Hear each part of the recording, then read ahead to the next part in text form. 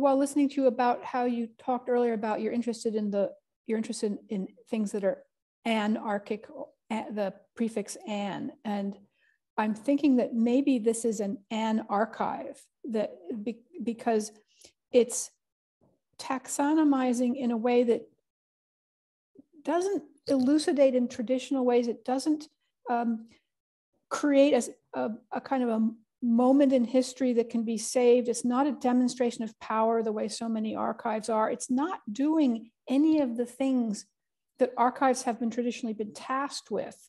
And yet at the same time, it's kind of like overdetermined in these specific ways. It has, I could, the concept oscillators, the cliches, the thousand categories, you could keep building those out forever. Um, so am I, am I off base in thinking about this as an an archive I, at all? No, I, I, think that's actually the more that's that's that that's probably the the the more opposite term. Um, and of course, the idea of the an archive is also, again, it's sort of implicit in many many theories of the archive. But I like the idea of an anarchive when we think of it as sort of uh, an archive that starts to take place around a void. Um, because, you know, also in the heart of the word archive is the idea of the, of the archon and the arkheion. This is the place where the, the chief, the ruler, the magistrates sort of reside. And it is, it, it is the archons, the archivists, you know, who, who, who control entry into the archive, to this place that we've designated as the place where we're going to, you know, um, collect uh, documents, for example. Um, and I like the idea of, uh, of, a of, a, of, a, of a sort of placeless archive. Um, this idea that there is a place, except for that place is a void. And then the archive starts to emerge around it, except for it doesn't, it doesn't, it's not settled and it doesn't, it can't be located in that sense. Um, that might be a good metaphor for uh, or a good analogy for for the processes that we're using in our in our in our projects a, a placeless place and a gap which uh, brings me actually to wanting to talk to you a little bit about the Grupo Anarquitectura. Uh, I don't recall that you have any background in architecture yourself, but uh, maybe you could explain if you do, and also talk a little bit about the origins of this project and the research RESARC's uh, interest in Grupo Anarquitectura. Yeah, I would love to talk about that. I um, so yes, that is true. I have no formal training as an architect, but since I was a teenager, I've been I've been an aficionado of architecture I mean, and so, and I've just tried to, I mean, that that's, that's pretty much where it stayed is like in this beginner's sort of fascination with architecture, um, which I've tried, which I've, which I've desperately tried to, to preserve um, as I, as I, as I work on the, the group of the, the, the an architecture group project. Um, uh, I did, I did happen to, however, I, I, did happen to write, I did happen to I, I actually did a PhD. I, I wrote a dissertation. And in that dissertation, I wrote several chapters on modernist architecture. I, I did extensive research on Le Corbusier, um, the international style, uh, the various um, the various sort of failures of modernism, the various um, perverse expressions of modernism in other parts of the world, for example, Latin America. Um, uh, did a lot of research on the city of Brasilia and the work of Lucio Costa and Oscar Niemeyer. And so I um, went and, and, and actually here at UCLA, when I was teaching in the film school, I taught a course on film and architecture where I, um, where I spent a lot of time uh, reading about and working on um, all of the, not just the sort of modernism from like the early 20th century, but all of the kind of techno utopian avant-gardes in Europe in the 1960s and 70s, like Archigram and Super Studio and uh, and you know Yona Friedman and Constant and with his New Babylon and all that stuff. so um, all of that stuff is really in the sort of in the in the in the in the in the air when the the when Gordon Matta Clark is starting to starting to think about architecture and urbanism in New York City in the 1970s.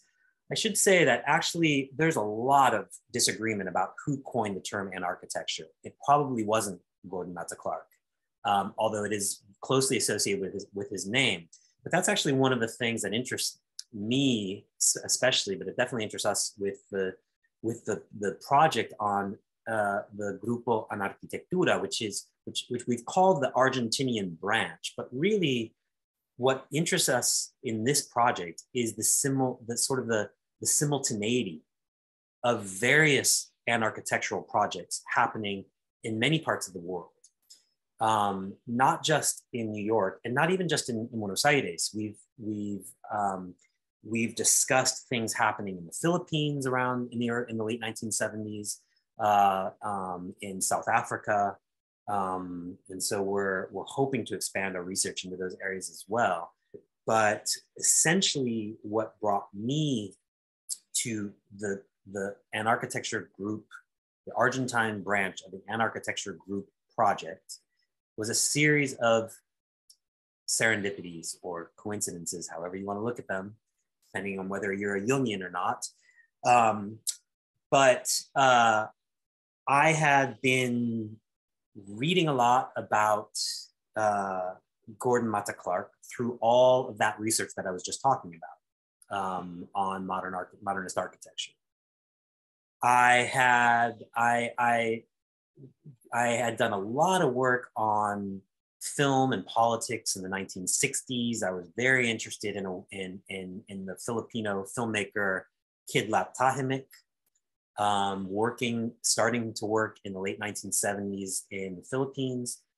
He made this fabulous little movie called Perfume Nightmare 1978 that he made with his with his cheap secondhand eight millimeter camera um, and what's crazy is that in at one point in Perfume Nightmare, in a scene shot in Paris, because half the movie takes place in Paris, um, a work by Gordon Matta Clark just shows up. It just shows up. And it's there on the screen for about, I don't know, 30 seconds or so, and then it disappears. And there's no, there's no, there's no gloss, there's no reference. There's no mention of who of who it is. We just see this work called Conical Intersect, which actually only existed in Paris for, for a couple weeks because it had to be. It was it was done. It was it was it was created in a building that was slated for demolition um, in 1976. So that sent me back to the work of Kidlat Tahimik. I began to think about certain other moments in that film where ideas that seemed very similar to ideas that were circulating among this group around Gordon Matta Clark in New York in the 1970s also seemed to be working or operating in Kidlat Tahimik's film, albeit in very different ways. Um, for example, this idea of the fake estates. There was also um, a project of, an early project of Gordon Matta Clark's. We see many examples of, of sort of fake estates in the film uh, uh, Perfume Nightmare. Anyway, fast forward to 2009, I am on a research trip in Buenos Aires and I'm walking around uh, a central, very central neighborhood, probably one of the oldest neighborhoods uh, in the center of town in what's called the Microcentro. Um, and I happen upon a, an unfinished highway ramp that's literally looming over the center of the oldest neighborhood in Buenos Aires. And I, who had spent many, many, you know, long periods of time in the city of Buenos Aires, had never once seen this uh, ramp before. And it just struck me as both too deliberate and too monstrous and too monstrously beautiful, actually, to be unintentional and so I began to I began to do research. I began to contact my colleagues in Newsark, and we began to generate some some uh, some ideas around uh, around the work of what appears to be a clandestine collective of artists, militants, engineers, what have you, who, among many other projects in the late 1970s and early 1980s, uh, also managed to infiltrate um, the uh, huge public works project in Buenos Aires at the time, um, which was the creation of a, a, whole slew of elevated highways, nine of them, as a matter of fact, that were supposed to crisscross the city. They displaced whole neighborhoods of people uh, out to the slums in order to sort of uh, and sort of make way for the highway, but also as kind of a form of urban cleansing. Um, and uh, they seem to have uh, sort of infiltrated the project and diverted it into this un, this uncompleted highway. So, so it's actually an act of an act of uncompletion um, that that we find very interesting. What a rich story, honestly. Uh, I can see how Grupo Anarquitectura eh, is intersecting with RESARC becomes a kind of focusing lens for you to think about these, the way we haven't thought enough about our own past histories around certain areas of our architecture or architectural practice, particularly things like urban development. So it allows you to kind of keep looking back in history without simply revisiting it the way the standard historians do, but actually trying to interpolate a different history that might then move forward to today in a slightly different route. Um, and I think it's quite interesting. I wanted to ask you, uh, fake estates, that's a great term, um, I must say. I, I, I, don't really have a question around that, but I, I think about how archives are a form of fake estate, uh, a, a place that you claim, but that isn't physically tied down in a certain way. And the way Grupo Anarquitectura is claiming this giant um, freeway.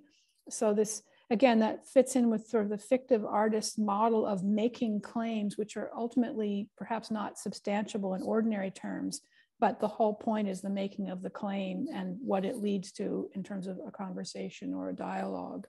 Um, I don't want us to run out of time for for viewer questions. So can I just, before we move to that, can I ask you to talk a little bit about what else you're working on or where, and perhaps any off branches of this that you see uh, about to, to spring forth? Absolutely. If I could just add, incidentally, that the um, that the ramp, the off the, un, the uncompleted and I don't say incomplete, it was uncompleted. The uncompleted off ramp has actually now been connected to a new highway project in Buenos Aires, um, uh, which actually runs underground, not above ground. Um, so, so actually, the that, that work that work of the, the, the Argentine branch of the Grupo uh, the Anarquitectura no longer exists um, as such in the middle of Buenos Aires. Um, what am I what am I working? Yes. So um, I, I'm I'm still do I'm working a lot on the the Anarchitecture series, which are the cardboard sculptures. Um, that's been a really interesting um, line of, of inquiry for me. Um, but I'm also about to embark on an, another major fictive project, I guess you could call it, um, quasi fictive. I'm always, maybe, I think the better word is speculative. Um, and I'll leave it to the experts to determine whether it's also fictive.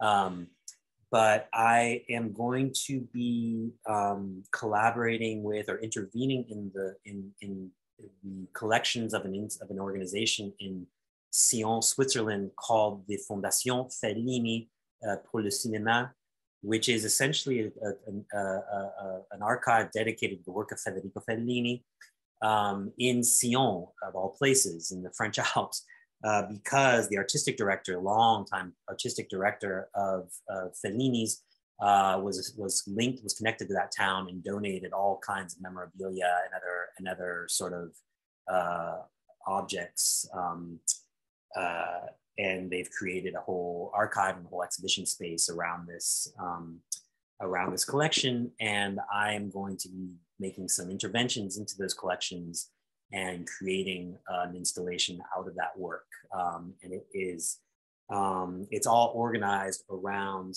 well, I should say tentatively, organized around a very strange piece of fan mail that Fellini received from uh, from somebody in Argentina. Yet again, I don't know what everything keeps sort of sending me back to Argentina. As a matter of fact, the the the, the person who composed most of the music for most of Fellini's films after Eight and a Half was an Argentinian composer.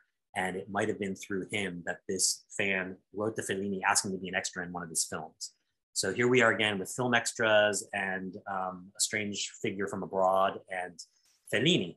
Um, so I'll be reading up on my Jung. Why Fellini? Um, well, I can't answer that question. I can't answer that question because the opportunity came to me. I didn't seek it out. Um, so I, when I, I, I, met the director of the Fondazione Fellini years ago, um, and you know, as a as a person who spent a lot of time watching movies from the 1960s, mainly Latin American, well, not just Latin American films, all kinds of all the movies from the 1960s, um, bad and good. Um, I've happened to watch a lot of Fellini films, and so I was interested to, and he, I was interested to meet the director of the Fondazione Fellini. And as soon as he told me about the archives, I asked if I could see them. And when he brought me to see them, I started looking at fan mail, and one thing led to another. So I have to ask this too. I was recently thinking about fan fiction and how it's become such a huge genre in our time to the point where there are now numbers of book like projects because they're not being published as books, they're being published on the web that are millions of words long, uh, created by often quite small communities of writers. Uh, and so the minute that you interpolate yourself into the life history of somebody as famous as Fellini, there is the potential for a fan fiction modality of thought to emerge. Uh, do you have interest yourself in fan fiction as a genre, is, or is this sort of just me waffling? I don't have yet a personal vested interest in fan fiction as a genre. However, I love the idea that something, some project that I am involved with, suddenly sort of takes on a life of its own in the hands of an anonymous community of creators. I will say that that was an aspiration of the Valaco Archive project that never was realized. Um, that I, you know, we had hoped that others, upon visiting the Valaco Archive, would be interested in getting involved, and that we could invite people to curate uh, sections of the Valaco Archive or create their own installations out of elements of the, of the existing elements of the Valaco archive and, and elements that they would that they would generate that they would create, which would then become part of the the archive. Um, so no, I don't. I, I can't even claim to know much about fan fiction, but I love the idea that maybe some fan fiction could could could be spawned by a little project of mine in Sion, Switzerland, in the Fondation Fellini. You never know, right? Uh, Gordy, I think maybe this would be a good moment to turn it over to questions. Great. We've got some great questions. Um, well, Greg, this is a question from Eleanor. Eleanor. Uh, many architects create projects that cannot and never will be built. Have you considered investigating a fictive architect?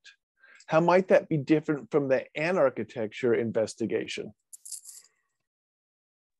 Oh, I love that question. Um, uh, I have not yet considered a, a project around the figure of a, of a, sort of a fictional architect, but I am very interested in speculative architecture, um, and and and so all of the all of the many of those those avant-garde groups, those collectives that I that I mentioned from back in in Italy and England and France um, in the in the 1970s Super Studio, Archigram. Uh, uh, um, uh, there's even a collective of, of, architects and artists here in the United States called Ant Farm um, that did some really interesting things with, with speculative architecture. They ended up trying to build um, inflatables and things like that. but yes, uh, Eleanor, I, I, I am really interested in that stuff. And um, I think it inform it's, it's actually, it's sort of, it's, it's, it's there. It's in the back of my mind as I'm creating these, uh, these, these cardboard sort of quasi architectural cardboard sculptures. Um, those are definitely speculative structures, um, to say the least.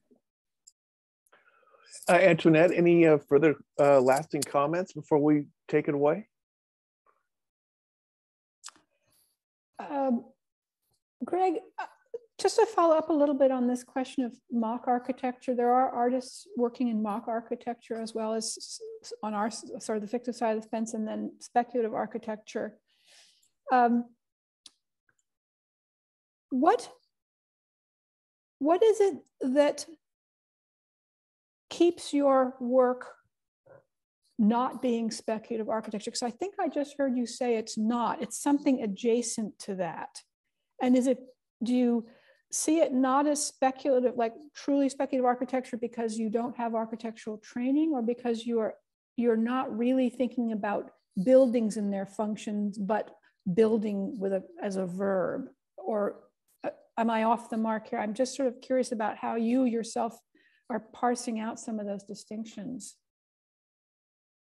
Oh, I, I, think what I said was I, I, I hadn't I really hadn't considered creating a fictive project around the figure of a of a of an architect um, per se, um, but um, but yes. That said, I I like that formulation. This idea that I think perhaps what more interests me is not the buildings, but building um, and and and so building in its sort of open-ended, um, open-ended kind of aleatory sort of aspect. Um, so when I'm creating, for example, when I'm creating those structures, I don't have an, I don't have, I, I don't draw them in advance, for example. I don't have a, I don't design them. Um, they emerge. Um, and each each layer that is placed on the structure as it's as it's as it's emerging determines how I will place or locate the next layer as I begin to build it up and out. Um, I mean, and I might have I might have a vague sense of of sort of certain gestures in mind um, with these structures, um, but they're really, really sort of base note. They're in the background. I don't know if that answers your question. Yeah, no, that that's actually very helpful. I also, I'm sorry, I want to ask you one last question that is um, comes up a lot with for fictive artists, and I can't recall if it's come up for you. This question of how we often find ourselves dodging and weaving around the storytelling so as to not admit things we don't want to admit, to create, to keep alter egos or um, parts of the story ambiguous as to their reality to not have to get backed into a corner. And there are people who will try very hard to back you into a corner because it's important to them to somehow know for sure what kind of story you're telling. So I was wondering if you've had those experiences, how do you deal with them? Do they make you uneasy? What is your sort of general strategy for, for not getting pinned down when you don't want to be pinned down about the truth or fiction of what you're saying at any given moment? Yeah. I can't even i, I can't even tell you how many times i've been backed into a corner um, unwillingly. Um, and i wish i could say that i had a good strategy for dealing with it. Um, i think it's really um, i think in the end it's it's really to turn sort of the focus back towards the idea of speculation and and get and try to try to try try not to get caught up in the idea of, of the fictive. Um, this is the peril the great peril of fictive art is that it's got the word fictive in it. And it's um, and it and it and it and people get really bent out of shape when something looks like history but is or is passing as history but may not be. Which is you know, if we all would read a little bit of I don't. That's going to be. I'm the. I was about to say something very pedantic, but but we could. But I think you know a lot of people know or a lot of people understand that history, the writing of history, uses all the same conventions as the writing of fiction. Um, but there's very little distinction between the two, often at the level of narration, and that um, they are different frames. They are different. They are different ways of sort of uh, framing a certain kind of um, uh, a certain fragment of reality in order to see if we can access some deeper layer of the real. Um, that's the way I understand it anyway. So I try to divert towards sort of this idea of an outward open-ended kind of speculative process. Yeah, that's great. Thank you. I appreciate your take on that. Uh, I don't have any more questions, Gordy. And are there any more from the audience? If not? No, we're all set. But I'd like to thank you all for coming today. And Greg, this was fascinating. It's just one more door that's opened up in this world of fictive art that I'm just learning so much. So again, thank you so much for joining us today. And many thanks to DoppelHouse Press for publishing such a fine book, Sting in the Tail, Art, Hoax, and Provocation. Coming up in our series on fictive art, Professor LaFarge will speak with artist Lenore Malen on March 2nd. The discussion will begin at 5 p.m. Pacific Standard Time. And again, thank you for joining us. This is Gordy Grundy for ArtReportToday.com, wishing you good night.